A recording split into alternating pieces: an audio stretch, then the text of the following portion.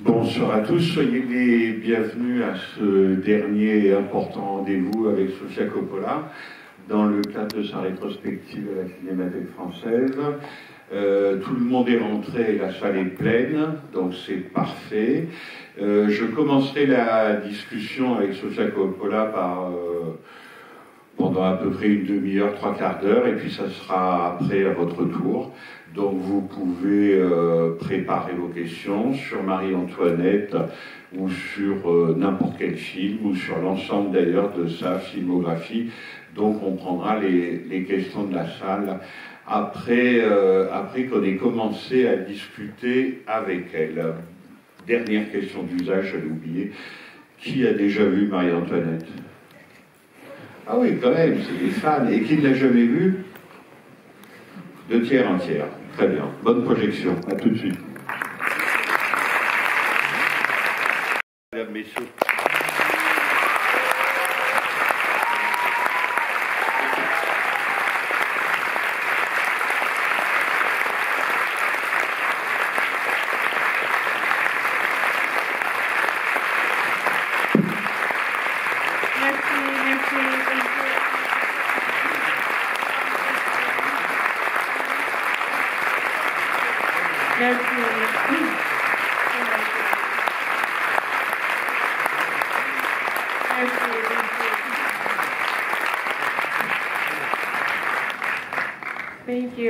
Such a warm welcome. I really appreciate it. Merci pour votre accueil aussi chaleureux. Bonsoir, Sophie Kovlar. Merci beaucoup d'être avec nous à la Cinémathèque française. On vient de voir votre euh, troisième film, donc après Virgin Suicide, après Lost in Translation. Comment vous regardez avec le recul?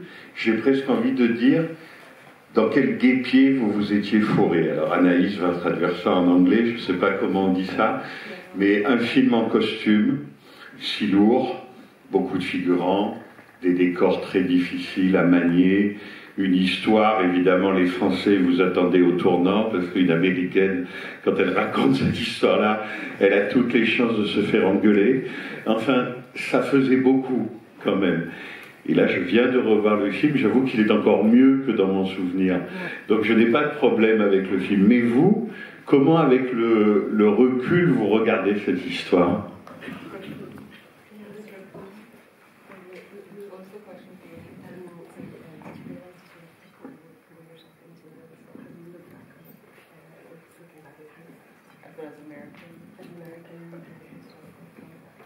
Uh, yeah, I um, now at the time I was just focused on the uh, approach that I was excited about making, but I realized that as an American coming to France and doing Marie Antoinette, everyone's speaking with California accents. It's, it's a little bit. Um, I hope it's not disrespectful. I, um, but I was I, I.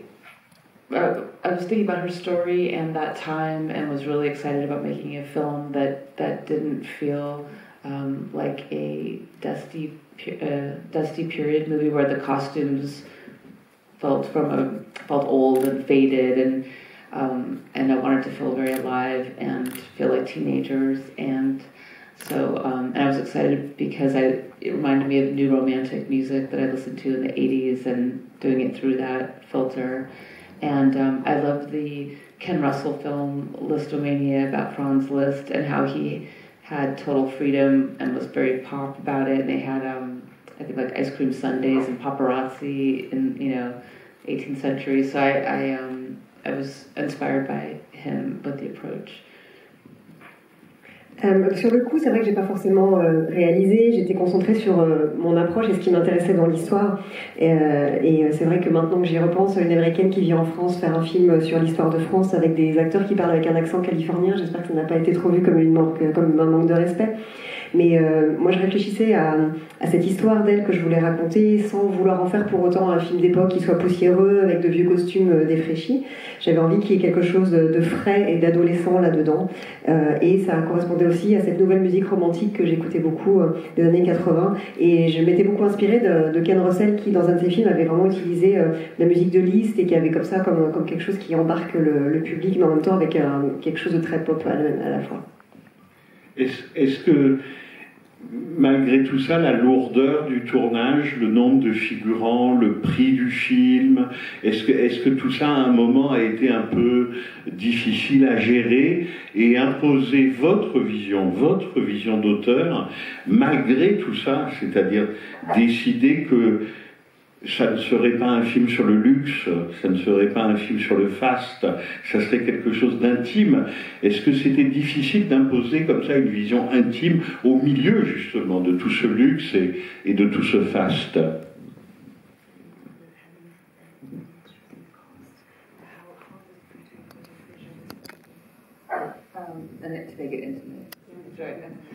I think I was always trying to tell the story of, of her as a girl at that age and what it would be like to be in that situation and how overwhelming and and it was really fun to build the world with all the costumes and Melina Canonero's incredible work with the carriages and the extras and make a big period movie um, because I grew up watching you know watching costume movies. So it was fun to be sort of in that genre but also focused on making uh, intimate portrait of a girl and how she was feeling?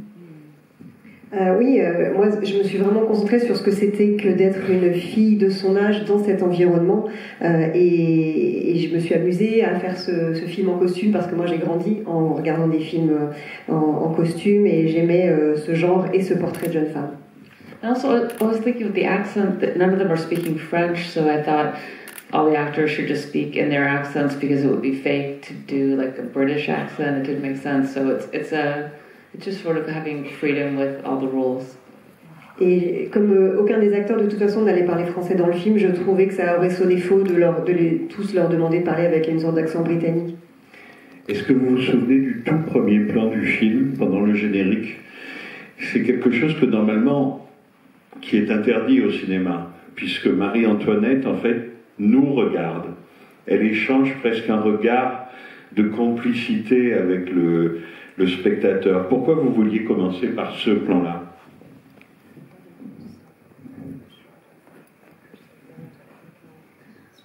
Oh, I um, I liked the idea of just having a glimpse of our imagination of Marie Antoinette, and and not the real person, not the real person, but just what we think of her, like our our interpretation of how her, she's this evil, decadent queen who said, let them eat cake, which they say she never said. So it's just like an impression, and then we, um, a flash, and then we go to the real story.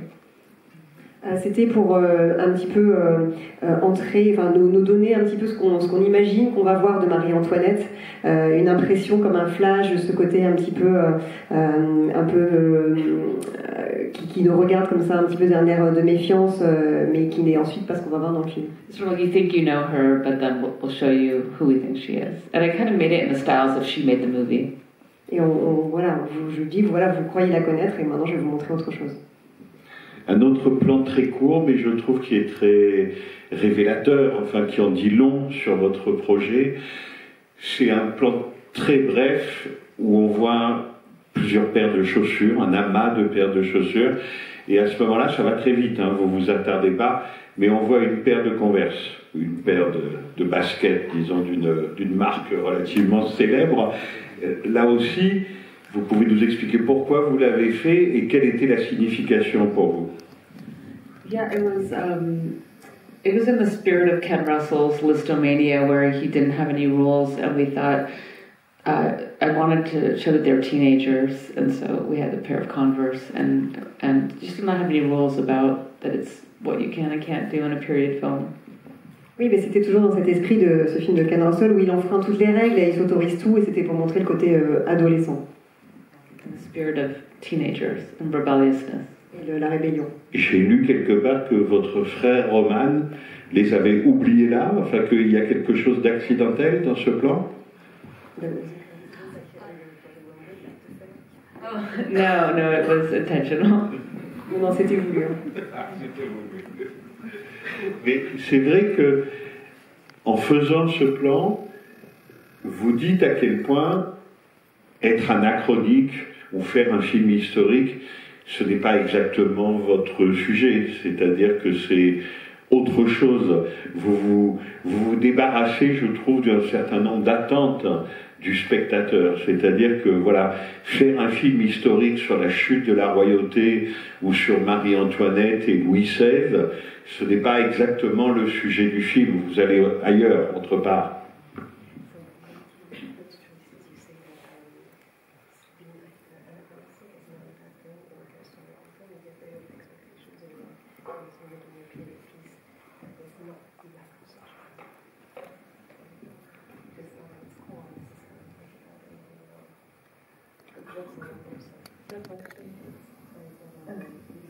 Terme important, c'est anachronisme. Uh, no, I thought. I mean, I wanted to do it in this. I don't know, in the spirit of um, yeah, t- teenage feeling, and what felt like suited how. Um, yeah, yeah. She is. It's, it's rebellious, and it's about a teenage girl who's misunderstood and um, and having fun with the subject. Euh, oui, c'était vraiment toujours euh, dans cet esprit de faire un film d'adolescente euh, sur toute la, rébellion qu'elle ressent et aussi elle se sent incomprise et ensuite s'amuser avec tout ça. Est-ce que vous pouvez nous raconter comment se sont organisés les deux films, c'est-à-dire celui-là et Lost in Translation C'est-à-dire que la, préparation quand même de ce film a été longue et Lost in Translation en fait a été fait avant. Quel, quel est, des deux films, lequel a été écrit en premier en fait? Quel était le, premier projet? Time. I was writing them at the same time. I was um, writing Lost in Translation and also working on this, so which I thought was it's, it's helpful as a writer when you get stuck on what you're writing, and you can go to the other one, and when you're stuck on that, go back and forth. So, so um, yeah, I was I was living in LA and writing both at the same time. And then I then I made Lost in Translation, and then um, you know I always wanted to make uh, the story of Marie Antoinette, and I was adapting the book by Lady Antoinette Fraser, who I would speak to um, about it. But um, yeah, I was yeah I was in two different um, mindsets, and there were very very different productions to shoot because Lost in Translation was very low budget and small, and, and this um, was a lot of people and, and a big a big world to create. Oui, je les ai écrits à peu près en même temps ces deux projets et ça aide quand on écrit euh, d'être sur deux, deux, sujets en même temps parce que quand on est bloqué d'un côté, on peut passer euh, à l'autre et faire des allers-retours comme ça. effectivement, à ce moment-là, j'étais à Los Angeles et j'écrivais les, les, deux films et finalement c'est Lost Translation qui s'est fait d'abord euh, il y avait un gros travail d'adaptation du, livre d'Antonia Fraser sur euh, Marie-Antoinette. Et donc j'étais dans deux états d'esprit euh, totalement différents. Et les, deux productions étaient aux antipodes l'une de l'autre. Pour Lost in Translation, c'était quand même un beaucoup plus petit budget. Il y avait tout un monde à créer dans Marie-Antoinette. Et puis Lost in Translation, c'était un scénario original. Donc c'était c'était quelque chose de beaucoup plus léger, oui, et puis fluide. Est-ce que est-ce que c'est vraiment un film que vous avez presque improvisé en attendant de pouvoir faire celui-là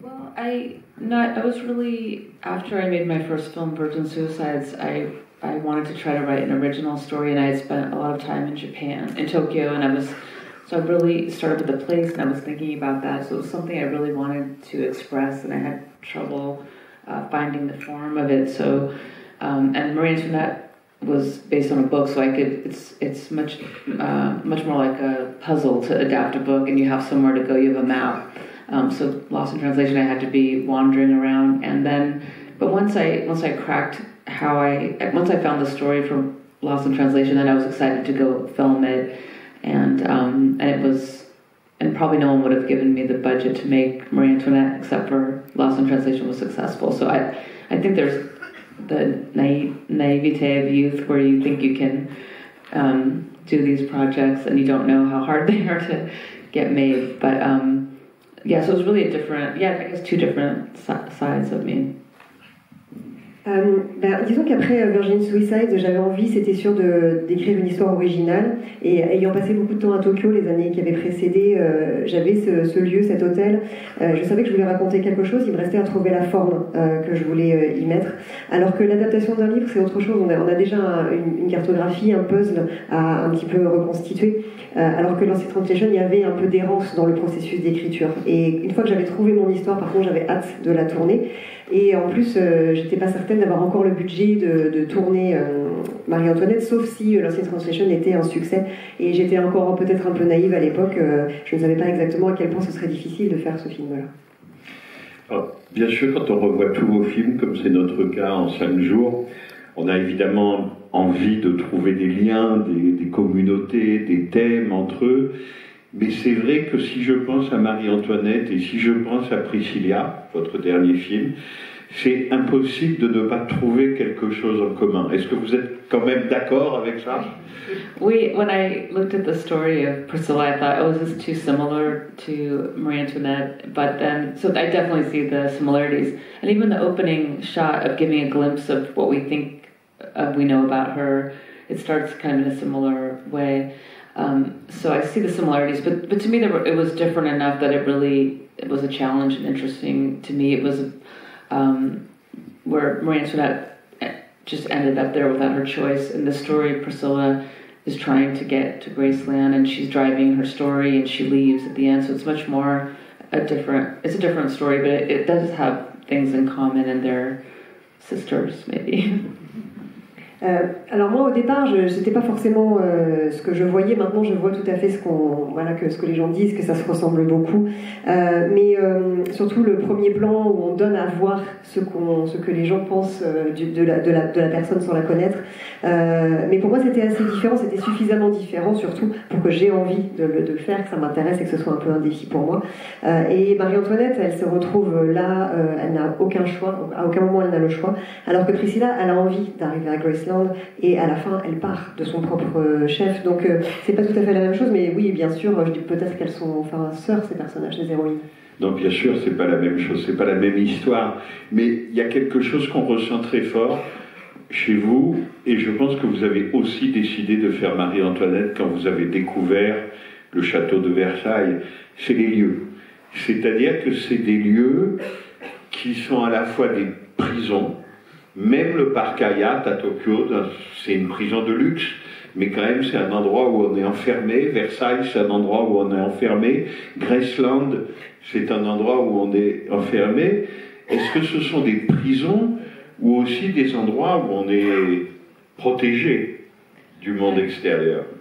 I I think I like to see something that looks on the outside like a a dream, you know, uh, like it was a fairy tale. Like they have everything they want. You know, she gets to live in a castle, but then the reality is that they're human and they have struggles and and problems, and you know that doesn't protect you from the human experience. And so I like to see the the side behind the curtain that you don't imagine. You think it's they have everything, but they have struggle. They're the human side.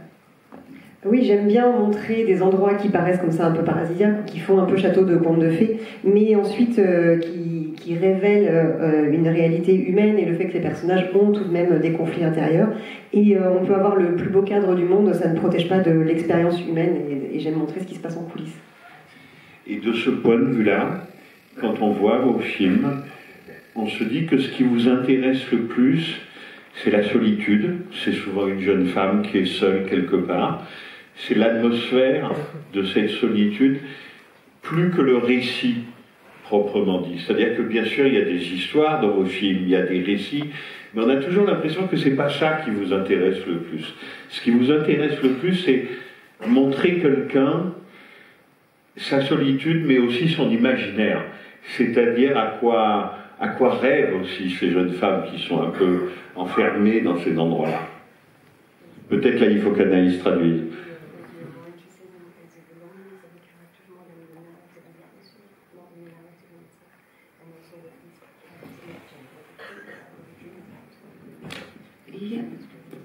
yeah. I like I like to have um, the introspect introspective side of the character that they're they're going through something and they're trying to understand it and to be alone with them as they're um, you know thinking about it. So it's it's more of just being introspective with along with the character.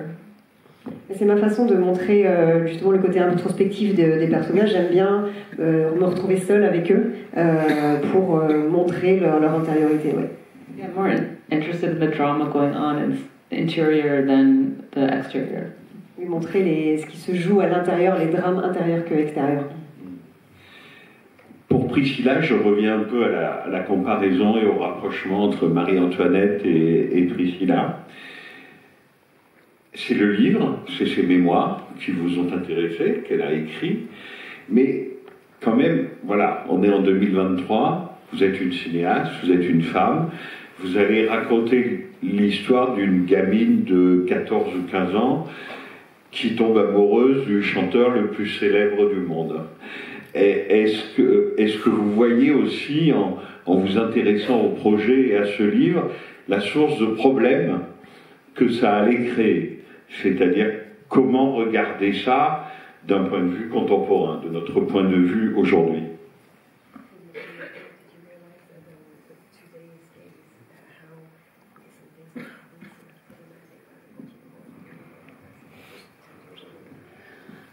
Yeah, when I read uh, Priscilla Presley's memoir, Elvis and Me, I was really surprised that um, I knew she was young with him, but I had no idea that she was living with Elvis at Graceland when she was going to high school.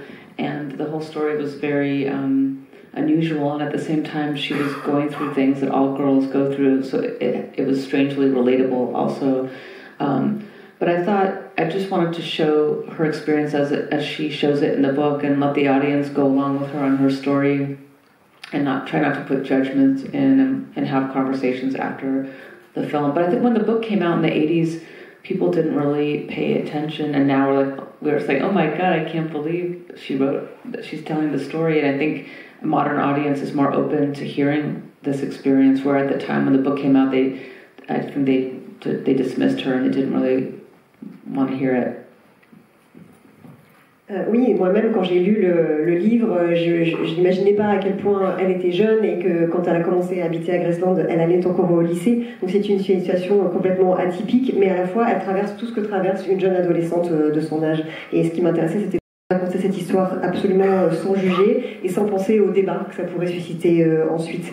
Mais euh, quand le livre est sorti, à l'époque, dans les années 80, euh, on n'en a pas fait grand cas de, de cette histoire. Euh, aujourd'hui, on est peut-être plus ouvert et on a plus envie de connaître cette expérience de sa part, mais à l'époque, ça a été plutôt méprisé qu'autre chose. Mais alors, comment vous regardez Elvis Presley aujourd'hui? Um, I really, I, I focused on the story of seeing him through her eyes. I, I had admired him as a unique artist with great, you know, unique style, and I see through her story that he uh, was human and had flaws, and, and, and in this relationship, um, it's a he's in a complex relationship with her. Was. Mais euh, je le vois, moi, dans mon film, évidemment à travers ses yeux à elle uniquement. Euh, moi, je le connaissais comme un artiste absolument exceptionnel, qui avait son style euh, à lui. Et avec le film et avec le récit, je le vois beaucoup plus humain, avec ses défauts et dans une relation très complexe avec elle. And the story says a lot about the roles of men and women of that time, especially in this in the South in the '60s. And it's it was interesting also because it's the generation of my mother and the expectations of women at that time. They're so different now, but then there's still parts that are that haven't changed. So it was really interesting to look at that. I think that was unique about this project where I, I didn't have that experience with Marie Antoinette.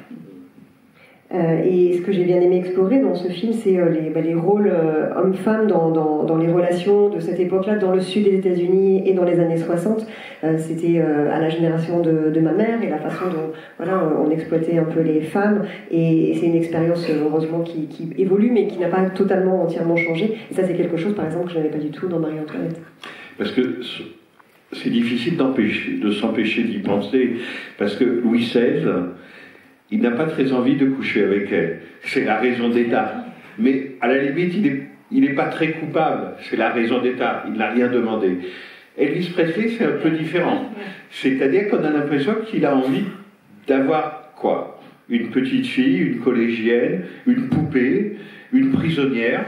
Pas forcément pour l'exploiter sexuellement, mais justement, il ne se passe rien entre eux pendant très longtemps, exactement comme dans Marie-Antoinette. Il y a là un mystère quand même. It's, it's very, um, it's, it's a mystery. When I was filming the scenes in the bedroom, I thought, oh my god, it's the exact same scene. It was funny to, to see that as we were filming. But um, you know, I'm not I'm not a psychologist. I feel as an artist, my job is just to tell the story, and um, I can't answer all the questions. It, it seems like he had some issues, but I, um, I, I can't say I don't know I don't know the whole story, but he um, I think yeah he's he saw her in a certain way, and um, and you know she expressed uh, her desire and and you know tried to to make the relationship work, but um, I, I can't say exactly. But it, yeah, that scene, the scenes are shot in a similar way. Oui, c'est vrai que les scènes de lit, euh, pour le coup, en tournant celle de Priscilla, je trouvais qu'il y avait beaucoup de, ressemblances. Mais moi, je ne suis pas psy. Euh, en tant qu'artiste, ma mission, c'est de raconter euh, une histoire sans forcément tout expliquer. Je ne sais pas exactement quels étaient ses problèmes à lui. Apparemment, il avait une, certaine vision d'elle, en effet. Et elle, elle exprimait son, désir et, voilà, elle a essayé de, faire en sorte que qu'il qu la veuille aussi. But I tried to focus on her as a young girl, what that would be like to feel rejected and the, the, frustration just as she's discovering her sexuality and to be with one of the sexiest men in the world and he doesn't want her. I mean, how confusing that must have been. So I, I, I tried to really translate what she expresses in her book into the film. Et, encore une fois, en tant, en tant que jeune fille, euh, j'essayais de, de, comprendre, euh, d'imaginer ce que ça aurait pu, ce que ça pouvait vouloir dire pour elle en termes de rejet, de frustration, alors qu'elle était à la découverte de sa propre sexualité, qu'il était l'homme le plus sexy de la planète, considéré comme tel, et à quel point ça a dû être euh, dur à vivre pour elle. Mais le plus important dans vos films, c'est de toujours rester sur le point de vue de la jeune femme. C'est-à-dire que c'est ça aussi qui crée l'unité stylistique, votre style. C'est-à-dire qu'on reste toujours de, de son côté. Ça ne veut pas dire qu'on explique tout, mais le point de vue est toujours le sien.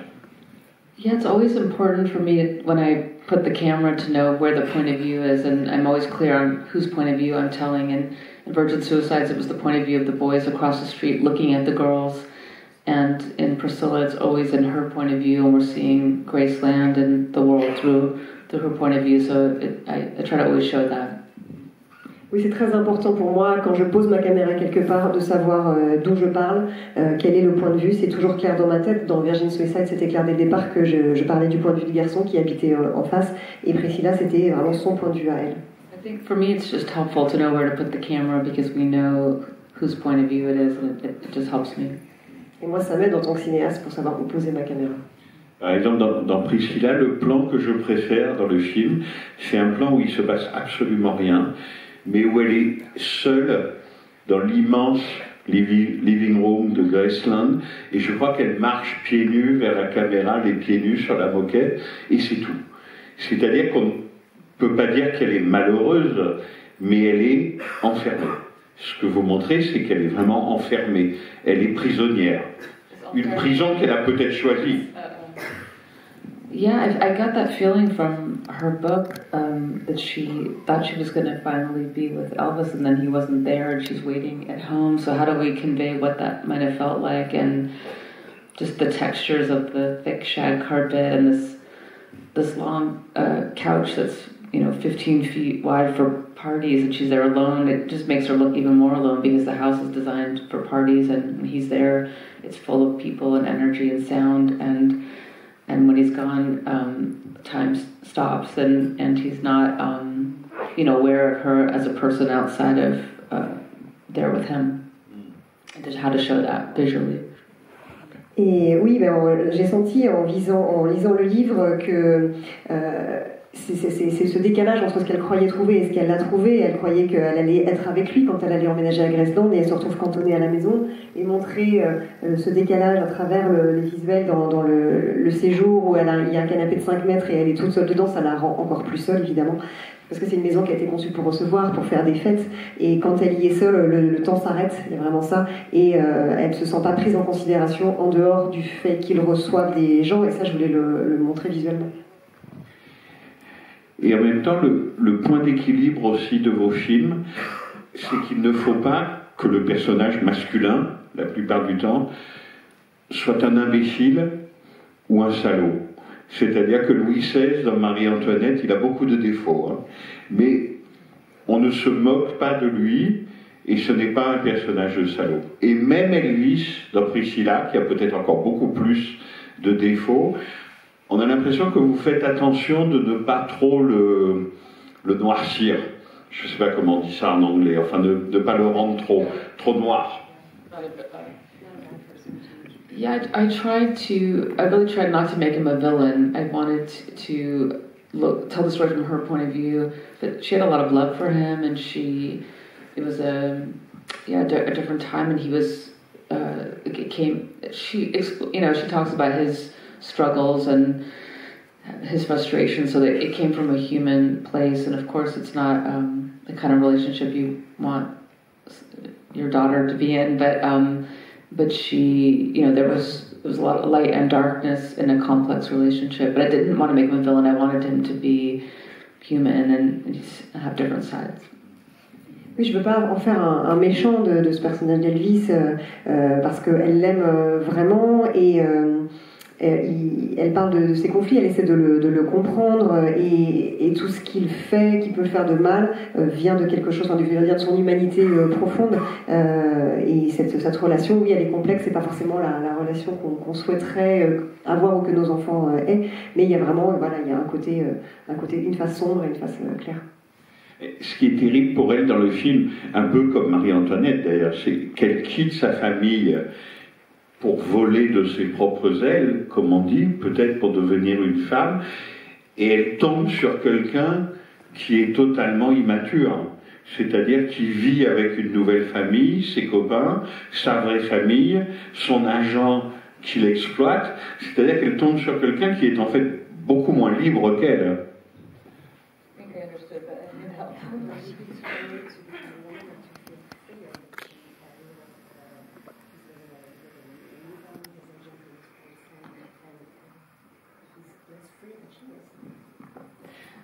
Yeah, I think there there is a lot to think about how he was being controlled, and then he continued that. But um, I um,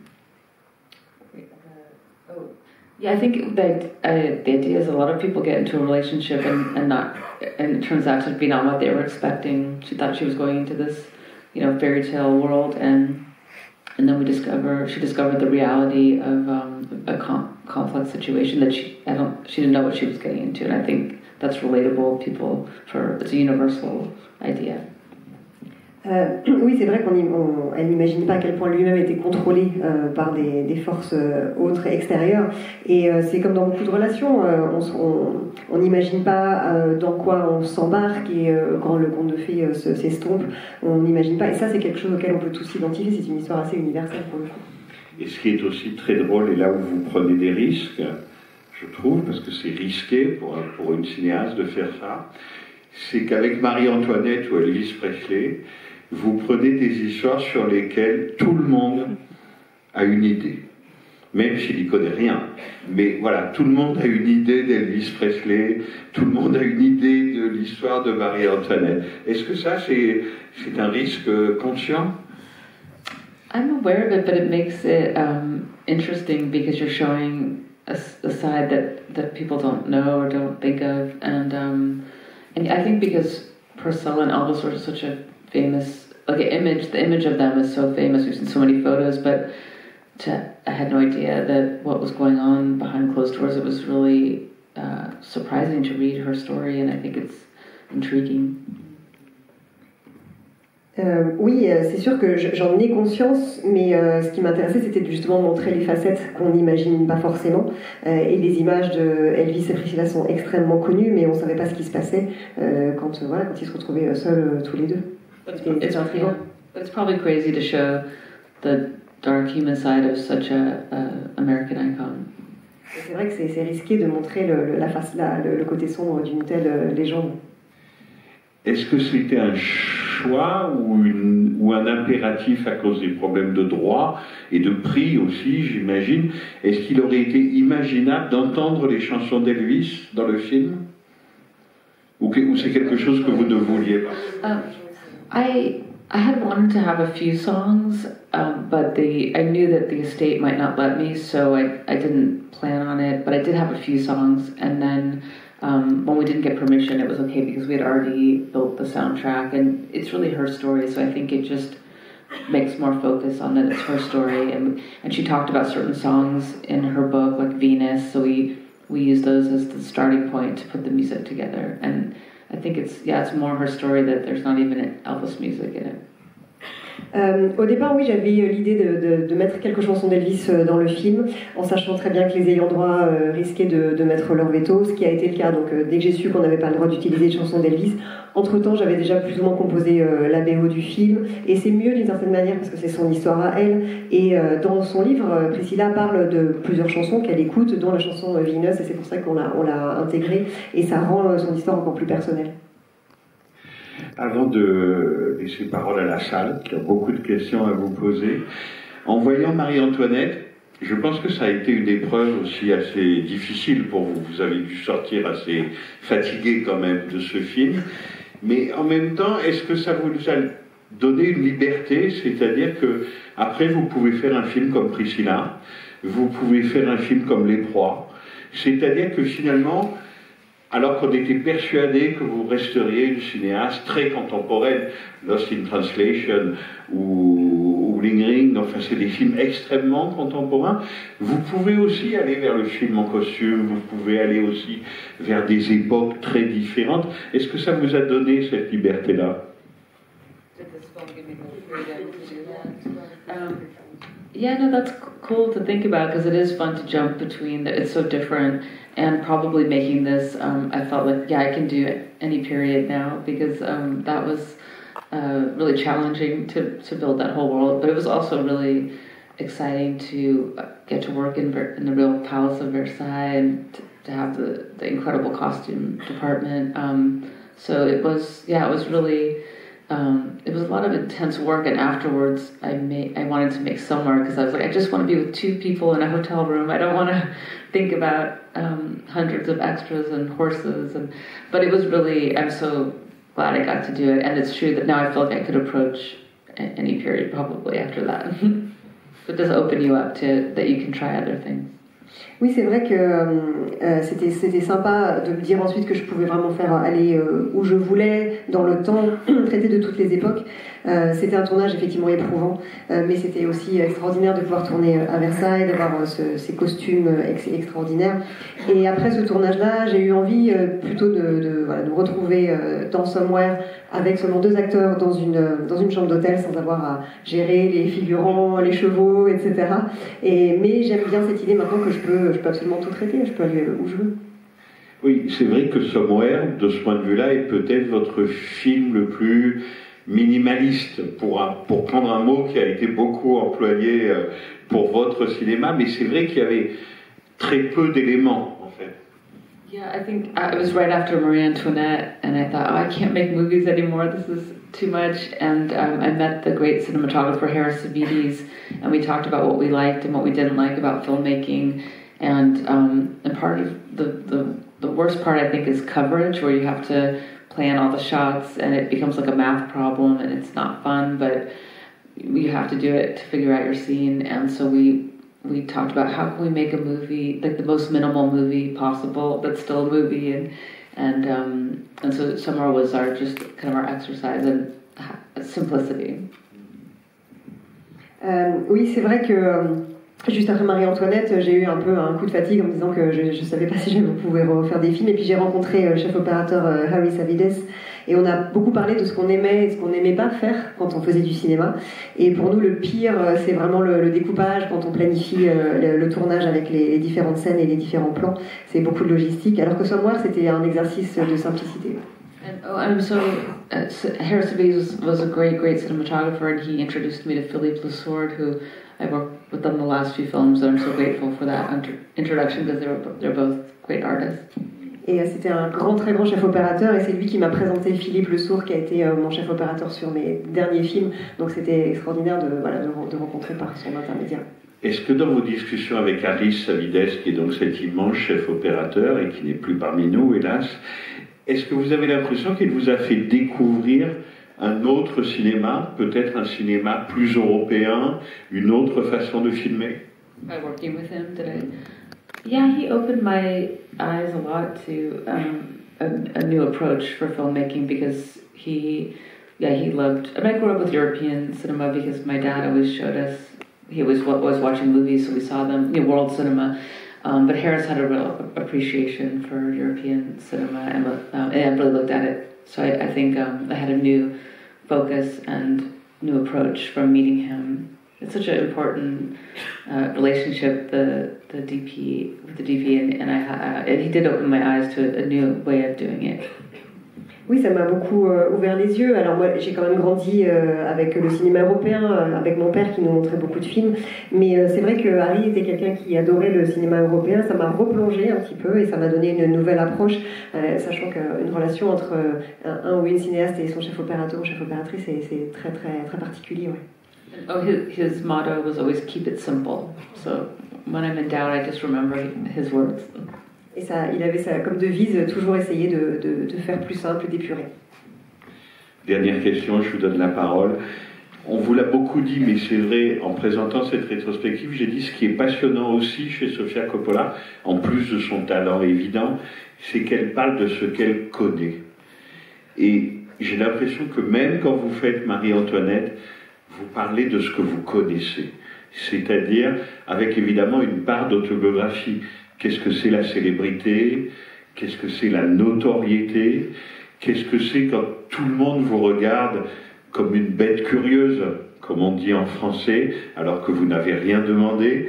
Enfin, voilà, j'ai l'impression que même si vous ne connaissez pas les, les situations historiques, évidemment, mais vous connaissez la situation du sentiment, la situation sentimentale de même ce qu'elle peut de ce qu'elle peut éprouver. Vous êtes d'accord I mean, I know what it's like for people to have a preconceived idea of you. So, in that sense, I can relate to that. I mean, not on, on that scale, but yes, I I know that people are going to think a certain thing of you because of your background or what your your family or role. So I can I can I can relate to that, and then showing that you're someone else is something that is is I do identify with.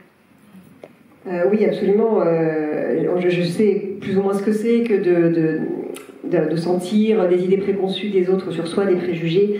Euh, bon, pas, peut-être pas à cette, cette échelle-là, mais quand les gens ont l'impression qu'ils savent quoi penser de nous en se basant sur notre famille ou nos, nos origines, et ensuite de, montrer que voilà, c'est difficile. Ensuite, c'est tout un travail de montrer qu'on est autre chose. And I have a friend that saw it and said, "Oh, you made a self-portrait as Marie Antoinette," and uh, I was like, "Yeah, no one noticed that." But I, um, but I, no, I, I, tried to connect with her as a girl and just imagine and, and you know, put parts of what I could connect to, and then you know try to be human of, of what it would be like to be a young person in that situation. Euh, et il y a des gens, qui, une amie qui m'a dit que c'était en fait mon autoportrait, Marie-Antoinette, euh, et simplement, euh, comme en tant que jeune fille, je, peux m'identifier à ce qu'elle a pu vivre et dans son, dans son humanité de se retrouver dans cette situation-là. Vous levez la main, ben voilà, monsieur, enfin par là, il y a des mains qui se sont déjà levées. I don't know, uh, we are at the Cinematheque and there's a beautiful Agnès Varda exhibition upstairs. I was wondering if you have any relationships with the cinema. And also you mentioned that you're ready to do any kind of period film or you, you feel ready to do whatever. Would you be interested in science fiction? Oh, yeah, I would be. okay. Alors oui, euh, première question, c'est est-ce que vous êtes allé voir l'exposition Agnès Varda qui est ici à la Cinémathèque et est-ce que vous, est-ce que quel est votre lien avec le cinéma de Agnès Varda Et euh, comme vous dites que maintenant vous pouvez tout traiter, est-ce que le, la science-fiction vous intéresse? Uh, yeah, I need to see that exhibit, and I have admiration, but I don't have a, a lot of connection or knowledge. But I definitely admire her, and um, I would be into science fiction. I'd be up for that. Euh, il faut absolument que je vois l'exposition. Euh, je, je l'admire beaucoup, même si je connais assez peu euh, son cinéma. Et oui, oui, la science-fiction, ça me plairait bien.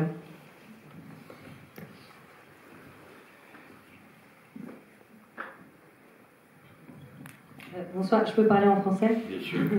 Bonsoir. Euh, J'ai remarqué que dans la plupart de vos films, euh, les personnages principaux ont très peu de dialogue, ils sont peu bavards. Euh, Est-ce que le silence, c'est important pour vous au cinéma? Qu'est-ce que ça apporte?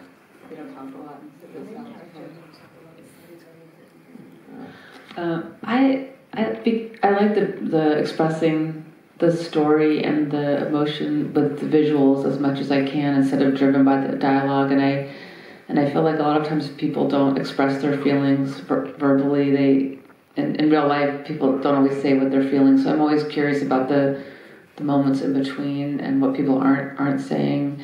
Um, and so I'm I'm not as interested as the dialogue as much as telling the story through the visuals. Oui, j'aime beaucoup euh, exprimer les émotions de mes personnages de façon visuelle au maximum, euh, parce que dans la vraie vie, hein, beaucoup de gens ne, s'expriment pas verbalement, et moi ce que j'aime c'est explorer ces interstices, euh, ces non-dits.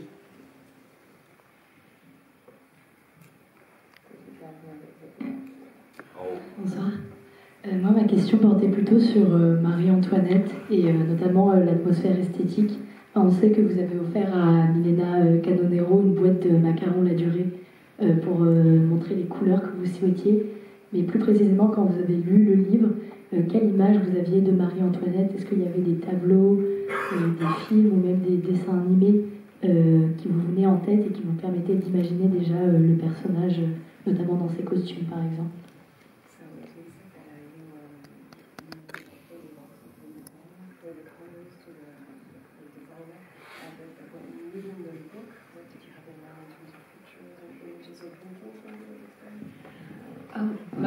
Yeah, I always when I start a film, I always put together reference images, and on Winter, it was it was a few paintings, but not very much. It was mostly from photography. I I, I love photography, and I always look to photography for how to how to make the look of a film, and so I, I really focused on them being teenagers and new romantic music was my introduction to 18th century. So the Bow Wow Wow album cover is a um, a copy of Déjeuner sur and so I was looking at 18th century through English new romantic music and Adam Ant, and you know that whole style um, was more the reference point. point, and then just yeah, um, I'm trying to think other photos of um, Kirsten, and just from more contemporary photos of how I wanted to approach it, and then um, yeah, the color palette came from the macaroons, and also I went to the the at the Met, the Costume Institute has had clothes from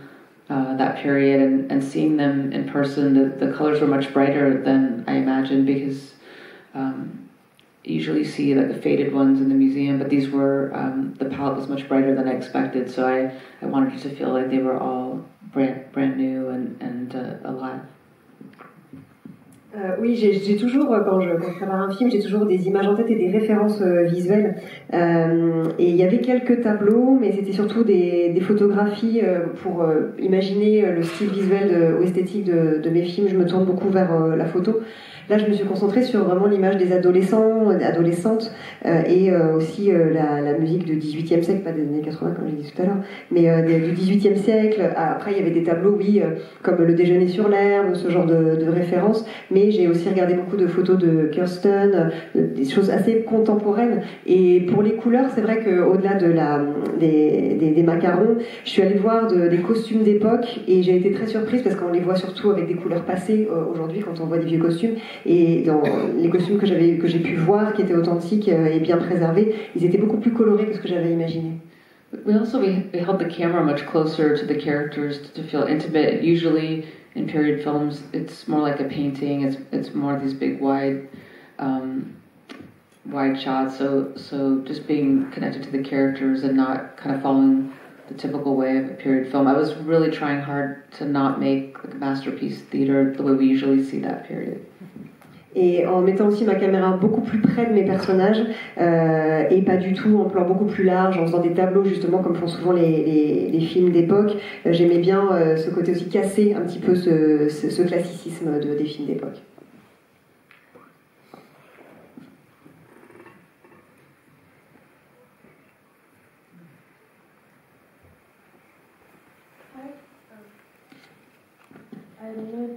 Working. Ça marche, ça marche, ça marche. Um, so uh, thank you for showing us your movies for this past week. And uh, since I'm very intimidated, I'm gonna go simple and ask you how uh, you got the idea for uh, Bling Ring. Alors merci de nous euh, montrer cette rétrospective de, de vos films toute cette semaine. Euh, comment avez-vous eu l'idée du film Bling Ring? Thank you. I just there was an article in Vanity Fair magazine about them, and I I had been living in Paris, um, and then when I came I guess I came back to New York after being in Paris for a few years after Marie Antoinette, and um, and I just like American tabloid culture seemed really um, more noticeable because in Paris you don't have tabloids when you go to the market. You can go to you can go buy food and not like see all the tabloids, and, and in America it's it's kind of everywhere. So I was I was noticing it more, and there seemed to be just that story was in a in a magazine, and I thought. Um, I felt like there was a shift happening in our culture. I, I thought it was just a passing phase. I didn't realize it was the beginning of how things are going to be. So it was just, it was at a point where things were, were shifting and I took notice. Euh, c'est parti d'un article que j'avais vu dans Vanity Fair. Euh, après avoir vécu plusieurs années à Paris, notamment autour du tournage de Marie-Antoinette, euh, je suis rentrée à New York. Et euh, j'ai vu la différence avec euh, ici en France, où la culture du tabloïd avait tout envahi.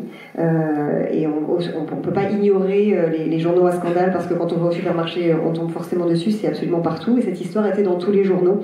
Et du coup, j'ai senti ce basculement. Alors moi, j'ai cru que ce serait une phase et que ça passerait, mais c'est vraiment ce, moment où j'ai senti que, ça basculait et que ça envahissait tout.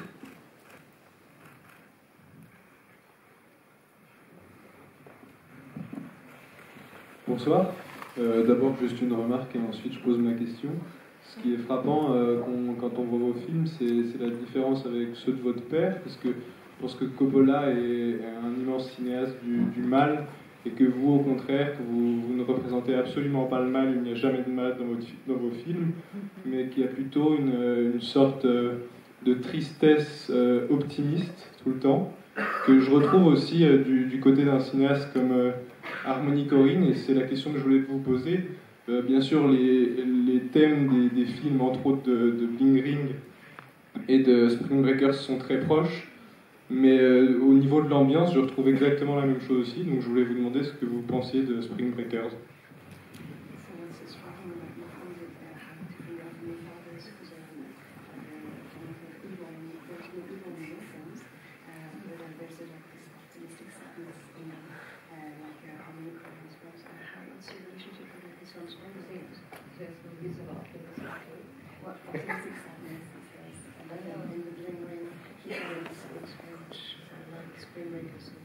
Yeah. Oh, um, I. Yeah, I don't know. Uh, I, you know, I, I Spoon Breakers came out around the same time as Bling but I'm embarrassed to say I never saw it. it, it um, so I that seemed like yeah, yeah, girls running around in bikinis, and I um, yeah, I, I guess I need to watch that. Mais en fait, le film est sorti, je crois, à peu près euh, à la même période. Euh, mais euh, voilà, je suis un peu gênée de dire que je n'ai jamais vu le film. Mais dans, enfin, dans ce que j'en sais, c'était beaucoup des, des, filles en maillot de bain. Mais peut-être qu'il faut que je le voie. That seemed like guys shooting girls in bikinis, so I wasn't that like en fait, voilà. rushed to see it, but I, I, probably should. je ne me suis pas précipitée pour le voir parce que je trouvais que c'était voilà, un homme qui filmait des filles en bikini, mais peut-être qu'il faut que je le voie en fait.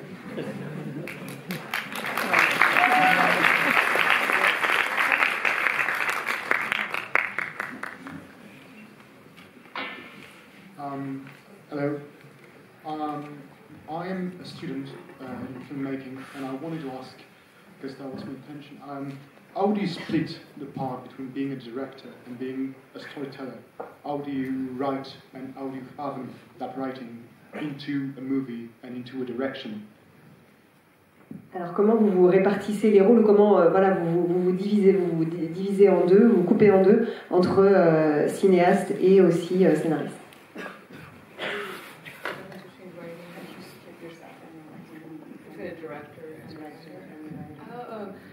Um, I, tr- I try when I'm writing just to feel, just be in my imagination and not worry too much about the logistical, practical side of making a movie and just like anything can happen. But I have now over the years gotten to the point where my director side, you know, um, comes in and, and, and realizes that we have too many locations. So combine these scenes can all take place in this one location. So there, I think. Um, yeah, I try to be free about just doing whatever I want, but there is a side that's that I'm aware that I'm going to have to actually make it. So how are we going to do this? And um, I guess that's helpful in the writing process to have a script that's actually fil- filmable, or you know, it, it just helps one more step than having to change everything um, with the reality of filming.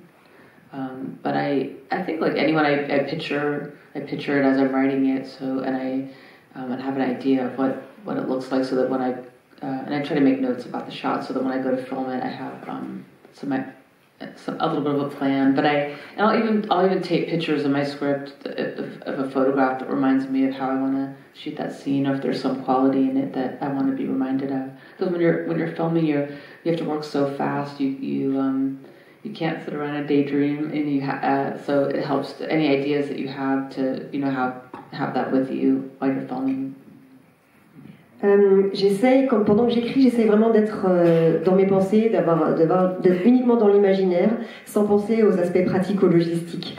Euh, mais de plus en plus, mon côté euh, cinéaste, ma, ma, moitié de cinéaste en moi, a tendance à, à, imaginer les choses déjà, comment ça va se faire, la faisabilité, dire que par exemple ces deux scènes-là, on, peut les, on pourrait les regrouper et tourner dans un même lieu.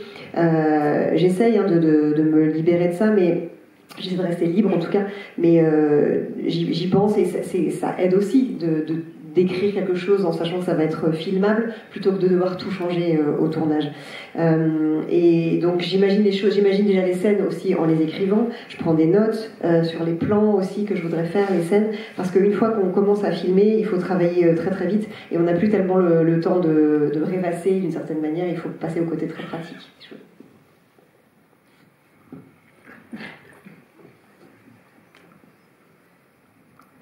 Bonjour. Ça me fait euh, très plaisir euh, de pouvoir vous parler. Euh, merci d'être parmi nous. récemment, j'ai découvert euh, Suicide. Pour moi, c'est un véritable chef-d'œuvre. Je trouve très sincèrement que c'est un des meilleurs films de tous les temps.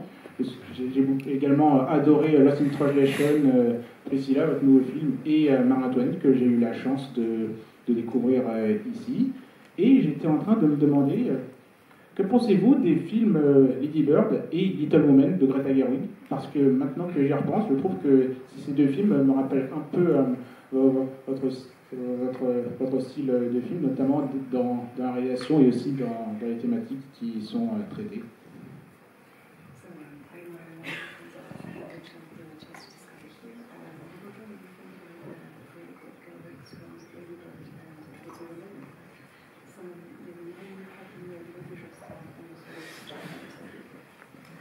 Yeah, I I like them, and I, I I love movies about young women and teenagers, obviously. So I love seeing um, a new generation and other people's view on a subject that I, interests me?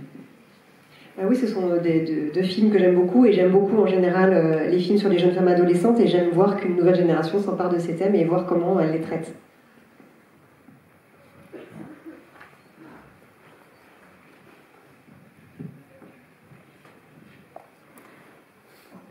Merci.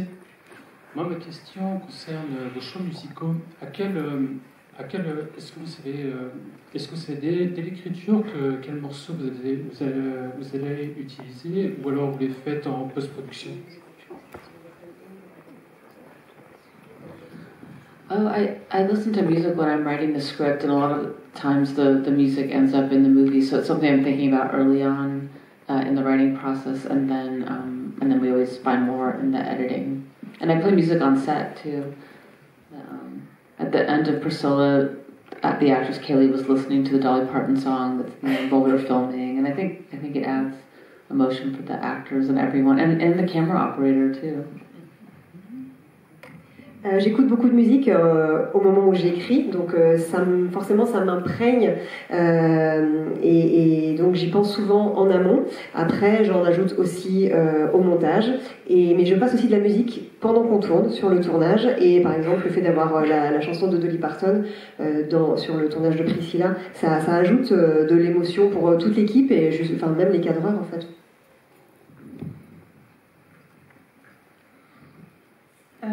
So before seeing this movie, I saw Marie Antoinette, the 1938 version with Norma Shearer. And she uh, so has this version inspired you one way or another, or maybe another movie to make Marie Antoinette the 1930s period dramas Alors, euh, avant de regarder euh, ce film euh, Marie-Antoinette, euh, j'ai vu la version de 1938. Est-ce que ce film vous a inspiré ou d'autres films, euh, ces, ces grands drames des années 30 Avec Norma Shearer. No, I've seen maybe clips or photos, but I never w- watched it uh, all the way. So I'm aware of it. I've seen pieces, but I didn't watch it um, completely. I think I, I never want to look at something on the same subject um, because I don't want to. I want to keep my head fresh about how, how I see the subject. But um, but I should watch it now. But I've seen I've seen images of it. J'en ai vu des extraits et des images, mais j'ai jamais vu le film entièrement pour être, pour être honnête. Euh, j'ai pas forcément envie de voir ce qui a été fait sur le même sujet pour garder une certaine fraîcheur. But I loved um, Dangerous Liaison and Belmont, and uh, those are movies I saw as a young person that I, made me love that period, and, and, and Barry Lyndon, of course. Mais évidemment, j'adore des films euh, comme, euh, comme Les Liaisons Dangereuses euh, et aussi Barry Lyndon. C'est des films de cette époque-là qui me, qui me plaisent énormément, avec lesquels j'ai grandi. Mais Barry Lyndon, justement, Sofia Coppola, en revoyant Marie-Antoinette, je me disais, bien sûr, elle l'a vu. Elle a pris ce qu'il y a le mieux dans le film, c'est-à-dire les personnages perdus dans le décor, perdus dans l'architecture, les reflets des vitres. Enfin, on peut trouver comme ça des allusions à Barry Lyndon. Mais je pense que vous avez compris le plus important, c'est qu'après Barry Lyndon, on ne peut pas refaire ça. C'est qu'il faut refaire autre chose. Et vous, vous l'avez compris. Il y en a beaucoup qui comprendront jamais. I, there's a scene in uh, Priscilla that's based on a shot in Barry Lyndon when um, they're in the carriage and he's smoking and she's the fur hood. There's a scene in Priscilla with Elvis and Priscilla in the limousine and he's um, kind of ignoring her that's inspired by that. Oui, d'ailleurs, euh, absolument. Et dans Priscilla, il y a un plan que, je m'inspire de, Barry Lyndon quand ils sont dans le, dans le carrosse et qu'ils se met à fumer. euh, et dans le, plan euh, dans, dans Priscilla, dans la limousine où il l'ignore totalement. Et c'est vraiment une inspiration directe.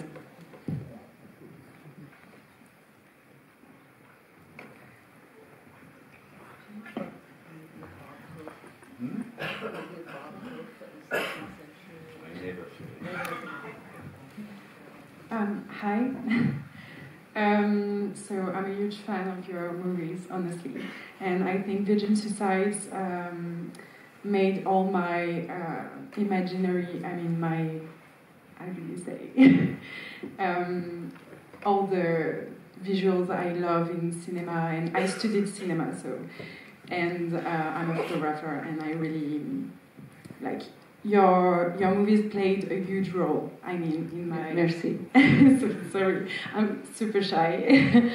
but uh, I wanted to know um, where does your need um, to speak about melancholia and about um, this kind of sadness uh, that um, teenagers feel, and uh, where does your, your um, yeah need for uh, to speak about that, your inspiration, you know, Alors, what were your references, I mean.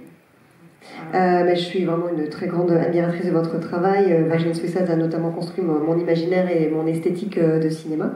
Euh, D'où vient ce besoin de parler de la mélancolie, de la tristesse ressentie euh, par les adolescents Quelles sont vos références, vos influences? I, I think that age you're just very sensitive, and so you're feeling emotions uh, deeper than adults are. So sadness is one of them. There's also a lot of joy and fun. So I think it just it was it was just trying to tap into the feeling of um, that age, and also that story. That story is more sad, and um, uh, so I was just trying to, you know, ma- just amplify the feelings of how they were as you know, in that feeling of sad teenage girls. But I, um, yeah, just I think just the heightened emotion of that and the, um, and where did that, yeah. So just from my experience, I mean, I, I had I had a sad experience at that age when I was 15, and and the story about loss is connected to a loss of my family. So there's probably a lot of that in the story. I was I was trying to understand, um, you know, what how my feelings of being that age and experiencing loss is so personal to me. But I also think it, it it seems to connect with girls even that haven't been through a tragedy. It's just that there's um, you're feeling, uh, you know, the sadness of the world in a more intense way. As, as far and, and your and your crushes and love feels more intense and everything. I think you're just more in tune with your emotions. I think.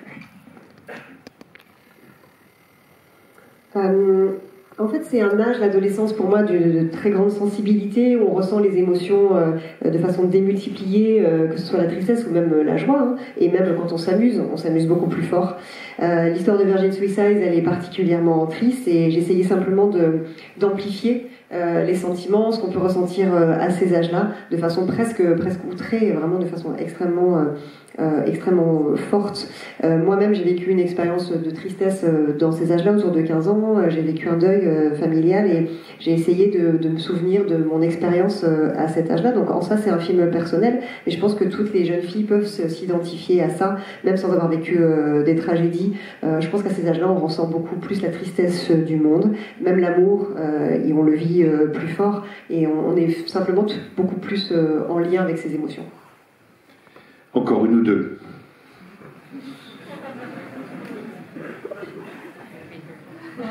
Hi, I wanted to ask what your approach is when directing actors, especially in such different genres and different themes and periods. Um, and how do you handle an actor who is completely different and is difficult in some ways? Comment vous dirigez vos acteurs dans différents genres, différents styles, différentes périodes, et euh, comment euh, vous faites avec un acteur qui peut se montrer peut-être difficile?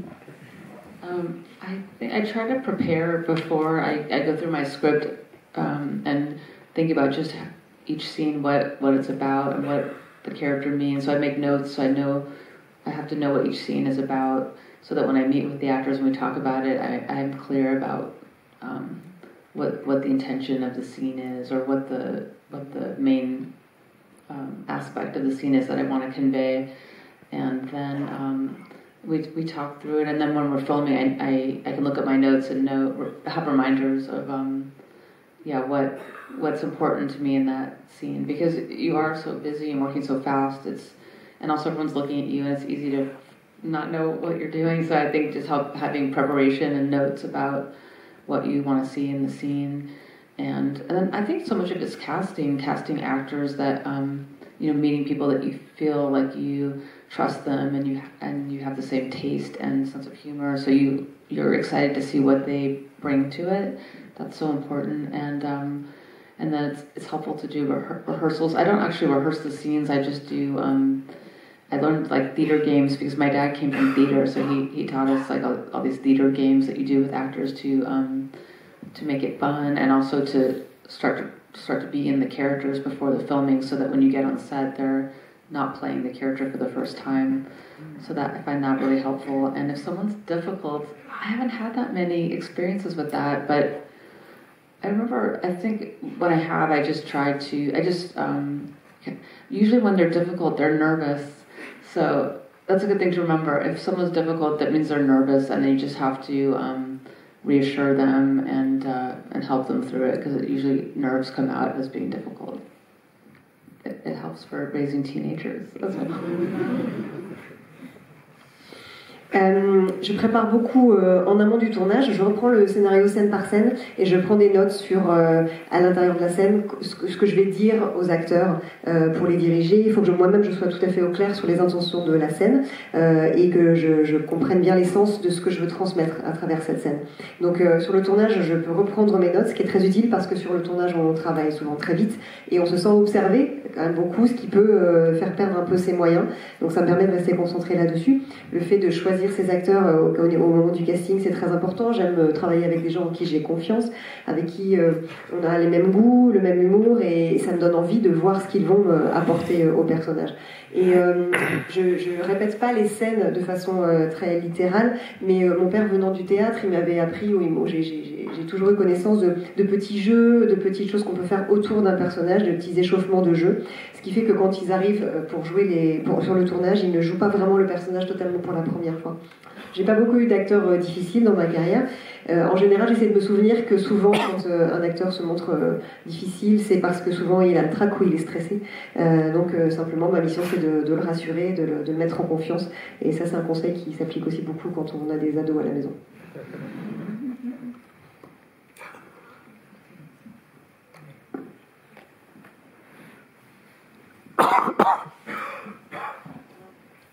Bonsoir. avec cette rétrospective, j'ai remarqué que dans quasiment tous vos films, l'humour est présent, même, même dans, les, euh, dans les films avec des histoires euh, les plus dramatiques. Euh, du coup, pourquoi cette volonté d'apporter toujours de l'humour dans vos films? Merci.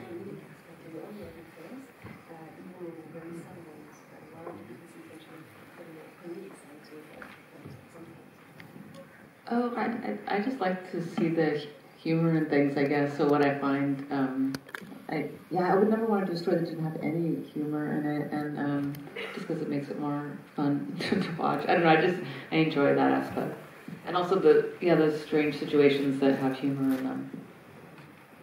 Uh, life. Euh, moi, j'aime voir l'humour en toute chose, euh, et je j'aimerais pas moi-même voir un film dans lequel il n'y a absolument euh, aucun, humour, et j'aime voir ça émerger dans des situations qui sont parfois étranges. Ça, peut générer de l'humour comme dans la vie.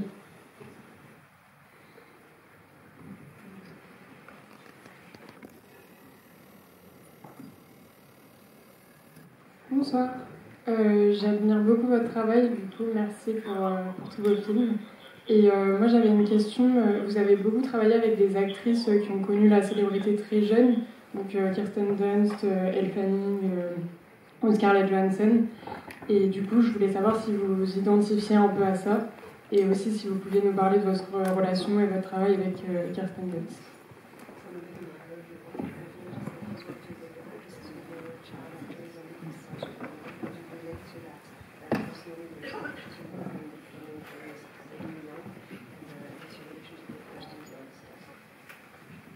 I, I, I can't imagine um, what it was like for them to be yeah, acting at such like Kirsten was in a career at such a young age. I, I was on film sets, but um, but I was just visiting. I didn't have pressure, so um, I didn't I didn't think about that. But I, I always like to take care of them because I feel like um, yeah, I always love my actors, and I I um, especially the girls that that grew up on film sets where people maybe didn't the directors weren't looking after them in the same same way. So I, I feel protective of them.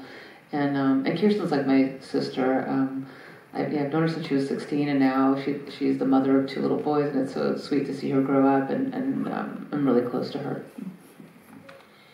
Um, Euh, je ne sais pas si je peux vraiment imaginer ce que c'est d'être un, un, enfant euh, acteur euh, qui, qui, devient une star, parce que moi-même j'étais sur les tournages, mais j'étais très extérieure la plupart du temps.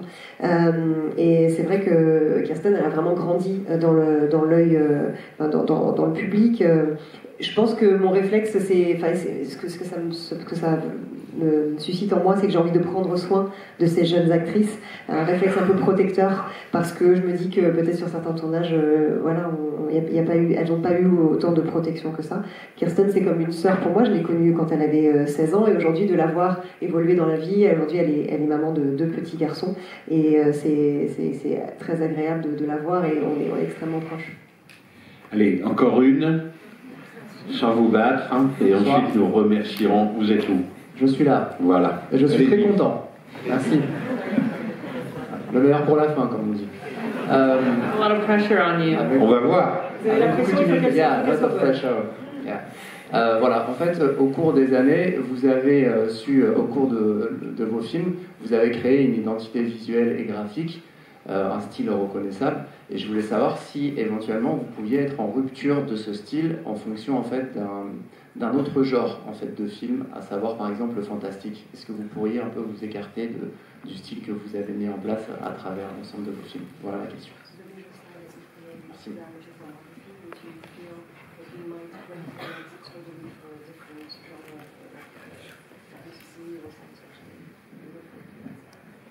Oh, I don't know. I think I mean, try to do a different look for each film, but there's a there's a relation because it's just coming from my uh, eyes and my point of view, I guess, so they're, they're linked. But um, but I like I but I like doing different um, worlds and different looks. But um, I feel probably anything I do will have some connection to, to me and it, uh, my aesthetic in some way. Um, but that's what's interesting. I'm trying things in different genres and how you put your approach into it. So um, yeah, I don't know. Euh, J'essaye toujours, moi, de, mettre des choses différentes euh, dans chacun de mes films, d'avoir un peu des styles différents. Mais comme ça passe par mon œil, j'imagine que forcément, euh, il y, a, un lien entre tous visuellement. je dois dire que j'aime assez créer des, univers en, changeant un petit peu des choses, mais sans doute qu'il y, a une cohérence dans, mon esthétique et dans, chacun de mes films, ça se recoupe. Merci beaucoup de votre attention, grande de vos questions. Merci à l'invité. Merci beaucoup. Beaucoup. Et merci infiniment, Sophia Coppola, pour votre gentillesse, votre disponibilité et votre générosité. C'était votre première rétrospective à la Cinémathèque, on aura beaucoup d'autres. À bientôt. Merci beaucoup.